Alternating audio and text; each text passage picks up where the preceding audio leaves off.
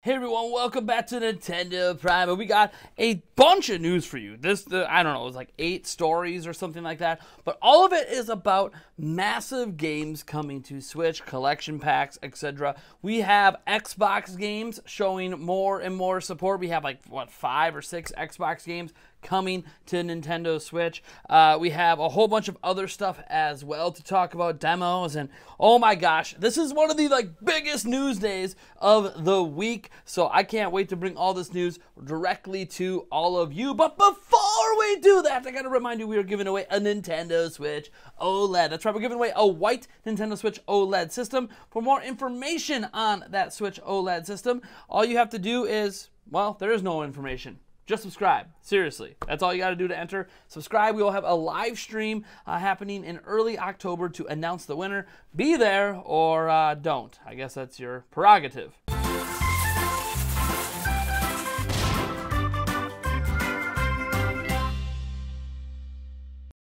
All right, folks, let's first get into something that was leaked by Best Buy. And this is in regards to games coming from Xbox. Now, when we talk about games coming from Xbox, obviously we're referring to all the studios that Xbox controls, and something's happening here with Bethesda in particular that we uh, kind of wondered if it would continue to be an ongoing relationship with Nintendo, because Bethesda has had a very, very good relationship with Nintendo Switch. And, uh, you know, we've gotten the Wolfenstein games, we've got Doom Eternal, all that jazz. So we always wondered, is that partnership going to continue with Microsoft owning them? Well, uh, yeah, it looks like it is because according to a leak at Best Buy, there is going to be a Doom Slayer collection pack coming to Nintendo Switch, including this game that's up here. Uh, now, all of these games are technically already available on Nintendo Switch. Uh, the, the collection pack includes one, two, three, and Doom 2016. It does not include Doom Eternal, but it also includes something the collection pack did not have on other platforms, and that, of course, being Doom 64, because that was only on the Nintendo 64. So uh, all these games are already available on Switch, and for right now, the price of this collection pack is $50. Uh, you can actually buy all these games individually at the moment for a grand total of $50, uh, but that's only because the original Doom 2016 is on a $10 off sale at the moment. Uh, the moment that sale ends, this will actually be the cheapest way to get all of these together. And obviously, just having a nice collection pack is cool. I don't know if there's going to be a physical copy per se. Obviously, Best Buy is selling a physical version, so that is something to consider as well. Uh, so, yeah, we're, we're just going to have to wait and see what happens here. It's likely going to be announced coming up very, very soon here uh, at Gamescom or something like that, because Gamescom is next week. For those who don't remember, Gamescom is basically like the E3 for Europe. Uh, it's not quite as big, there's not quite as many announcements, but there is going to be some news coming from it uh, later in this show. So, yeah, pretty, pretty cool. I'm really excited to, to just have a nice, clean collection pack like this you can buy physically uh, from Best Buy. So, yeah, we'll put a link to Best Buy down below if you want to go slap a pre order on if they're taking those yet. I'm not sure, but the listing is up. They haven't taken it down despite the news spreading, which likely means that this is legit. All right, our next news was actually a surprise shadow drop on Nintendo Switch yesterday. So, uh, Quake. That's right. The old school Quake that a lot of us used to play back on PC in the 90s is coming back and coming back strong. Uh, it is now released on pretty much every platform there is, including Nintendo Switch. You're seeing the Switch trailer behind me. Uh, I do have a copy of the game. Credit to, uh, I forget the sorry, I forget the company that sent me uh, a review copy. Uh, it's only ten dollars, but they sent me a review copy of the game. Uh, I will be making a video on that. I think tomorrow. Uh, I have to, you know, obviously spend a little bit of time playing it uh, and acclimate myself because I played with mouse and keyboard back in the day. Now I'm going to be playing with a controller. Uh, they made it widescreen. They obviously put it in HD. It's basically the same visuals virtually the same game. Uh, but I'm really excited just to dive back into Quake. Uh, and obviously, this gives us some hope on the future uh, for Quake, uh, and you know, getting brand new games in the in the series and all that that maybe end up being really good. We'll have to wait and see. But for right now, the original Quake is available on Switch for ten dollars. It shadow dropped yesterday. Really, really cool story, and I'm I, I can't wait to dive into it. Uh, kudos to the company. Uh, I think it's the production company, uh, the people who actually made it, because it wasn't like the OG team. It was a side company who actually brought this to Switch. Uh, thank you guys so much for that review code. I really appreciate it, and uh, look forward to a video on Quake on Nintendo Switch coming tomorrow. So speaking of games, I'm super excited about. Obviously, Lego Star Wars Skywalker Saga is up that list, and it's up that list because back at E3 2019, I saw a private behind-the-scenes demo that, as far as I am aware, that demo still is not available to watch publicly. So uh, I got to experience something that most of the world didn't to see in depth on this game two years ago. And the game looked amazing. It looked well beyond any Lego game, any Star Wars game really I had ever seen. It's truly a unique evolution of Star Wars games and Lego games. And they're obviously been taking their sweet time to make sure they get this right because this game has the potential to set expectations for future Lego and Star Wars games. That's how great this game looked behind the scenes. Uh, but now we actually know when we're going to see it again. Now, we had thought that it would appear at Gamescom because Lego Darth Vader was in the background of the main page for Gamescom, so we kind of knew it was going to be there, but now we know when. It's going to be there during Geoff Keighley's opening night live event because he is kicking off Gamescom uh, officially. He's working for them uh, with a kickoff event, and in this kickoff event, which is happening on Wednesday at 1 p.m. Central Time, uh, yeah, they're going to have Lego Star Wars Skywalker Saga showing up, like the release date, all that other stuff. It's supposed to come this year, but maybe it got delayed to early 2022. I guess we'll know soon enough. We'll get a fresh look at the game. Who knows? Maybe there'll be public demos happening at some point. Uh, I'm pretty excited for this. This is one of my most hyped games coming to any platform. I don't care what you play this on. I'm really excited for it. I can't wait to find out more. This is a big deal to me as a Lego fan, as a Star Wars fan. It's beautiful, uh, and I'm I'm getting a little goosebumpy over here uh, just thinking back to that 2019 demo that I saw behind the scenes because it was mind boggling. And I, I hope you guys get to see some of the stuff that I saw then, if not more, because it was amazing. So, next up, we got Crysis 3 Remastered on Nintendo Switch. So, we've known this game is coming to Switch for a while, but we haven't actually seen Switch footage of Crysis 3 Remastered until today. Uh, the studio behind it teamed up with Digital Foundry, who got to play a demo and break down the game. And uh, it's really, really interesting. Obviously, uh, the biggest thing people wanted to know with the Switch version of Crysis 3 Remastered, because we already know how great it looks on other platforms, is will the game actually even be better than the original Crysis 3? Because Crysis 3 already is, uh, you know, a, a, bit of a looker, uh, and obviously on the hardware with Switch, is it really going to be much better? And it turns out, yeah, it is.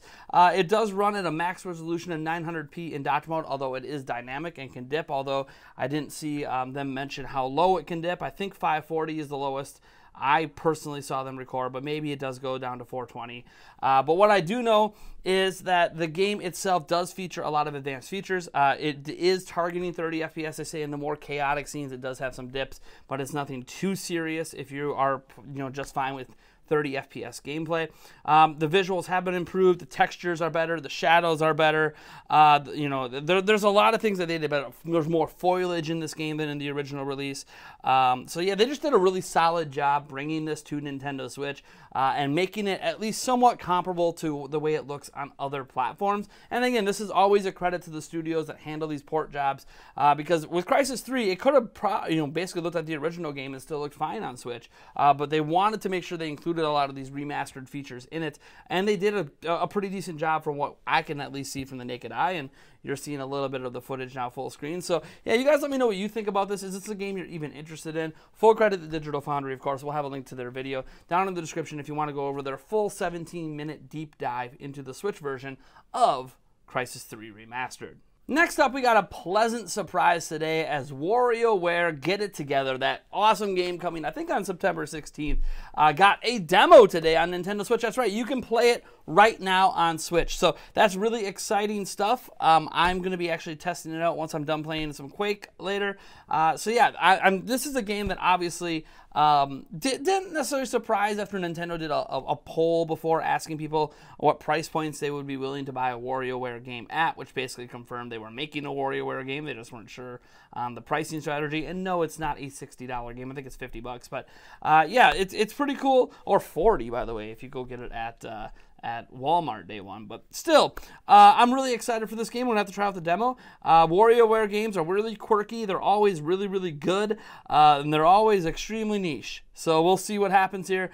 Obviously, this isn't like the Wario Land 2, 3, 4, 5 that we would like to see um, because the Wario Land games were great and it would be sweet to see them come back. But, you know, Nintendo does have a lot of side scrolling platforming games, so it's not like we need more of that. Uh, and WarioWare is obviously a much more unique take on Wario himself. So I'm pretty excited about it. So, yeah, we'll, we'll have to see how that demo shakes out and you can try it for yourself right now for free. So, we finally know when the final DLC pack for Doom Eternal is releasing on Nintendo Switch. The Ancient Gods Part 2 has been announced today. This is the announcement trailer behind me. It is coming out on August 26th, so Thursday next week. Uh, that is really good news in general. Uh, it's nice to finally have Doom Eternal uh, closed out and, and, see that support go all the way to the end.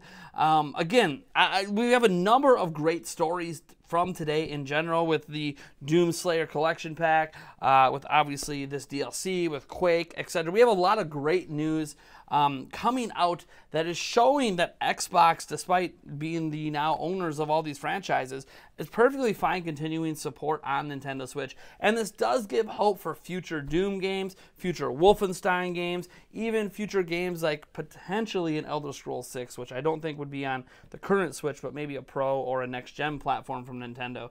Uh, but I, it does kind of give some hope that Microsoft might continue that partnership they have shown they, they have with Nintendo, the Get It Together update, uh, obviously bringing over games um, like Cuphead and all that, uh, Ori. That partnership might continue, and this, we might not actually be at the very end of the rope when it comes to support from uh, Bethesda uh, bringing games over. So I'm, I'm very curious to see if Microsoft and Nintendo are going to continue to work together like this. Um, there has been a smidge of bad news about Xbox and Nintendo, and that is that Phil Spencer has finally, after months and months and months of speculation, shut down any and all uh, rumors about uh, xCloud um, not xCloud, but uh, Game Pass in particular. They didn't shut down xCloud rumors, but Game Pass rumors. They said Game Pass will not be on any closed platform, including Nintendo Switch. He was really pressed on it in an interview, and he finally said, "Look, I mean, I'm just gonna kill it right now. Game Pass ain't coming to Switch because it's a closed platform, and that's that." Um, but uh, it doesn't mean that it, he doesn't want it on Switch, of course, or want it on PlayStation 5. It's just a matter of those platforms allowing it to exist in the way Microsoft wants it to, which means Xbox Live uh, being on that platform, which right now Nintendo and Sony are not okay with Xbox Live living on their platform. That being said, um, obviously that doesn't mean that Microsoft support is done for Nintendo. Everything in the background of Phil Spencer's videos mattered. They did they were treating Switch like it was their own platform in a video not too long ago. It's entirely and there was also that lawsuit um, where uh, you know uh, Nintendo redacted some stuff in the lawsuit. Uh, you know that talked about Game Pass and XCloud coming to Switch. So it's not necessarily impossible to think there's still something in the works behind the scenes. But as of right now, Phil Spencer has come out and said, "Look, there's nothing happening right now." So you could like stop talking about it but we know we're going to keep talking about it uh, because hey you know that stuff was redacted um, there's probably ongoing conversation still. It doesn't mean xCloud can't come over as a streaming option because xCloud doesn't necessarily have to use Xbox Live to exist. So we'll have to wait and see um, how this uh, happens moving forward, what the partnership between Microsoft and Nintendo is looking like. Maybe things did go south in negotiations and really sour, and now these companies are going like this, but then we wouldn't be getting the Doomslayer collection, we wouldn't get the final DLC pack, wouldn't be getting Quake. So again, it feels like Microsoft and Nintendo are still pretty chummy. So I expect there to be many uh, more collaborations and games coming in the future that are going to shock people, especially as Game Pass rises in popularity. That being said, I am Nathaniel Rebelljans from Nintendo Prime. Thank you so much for tuning in, and I'll catch each and every one of you in the next video.